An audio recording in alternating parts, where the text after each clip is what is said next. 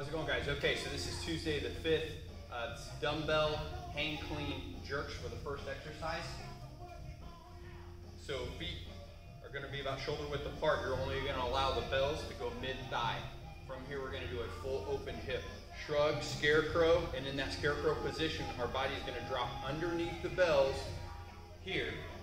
From that quarter squat position, we're going to use that to open hip and press. Once we get about halfway, we're dropping our body down, locking our arms out, and then completely standing. So this is a push jerk, okay, versus a push press. I'm quarter squatting, I had that full open hip, and then I'm just completely standing. So that was the push press. Push jerk is what we're going for here, okay? So one more time, hang clean, shrug, scarecrow, push jerk. Okay, so that's the first exercise.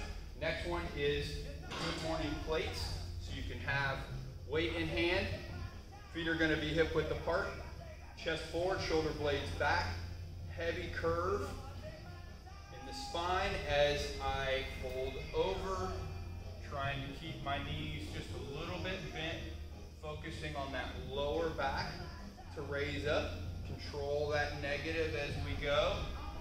And be careful of relaxing at any time. You should have a heavy arch in the back.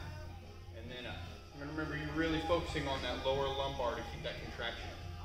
Next exercise is fly.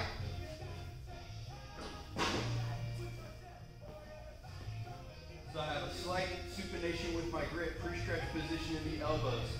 Basically making a V with the bells as I extend down.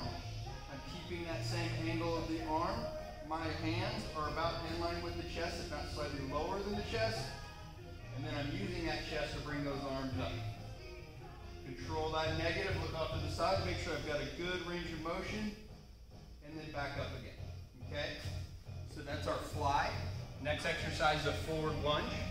So we're going to take a step, 90 in the front, 90 in the back, push back with my heel, not the ball of my foot.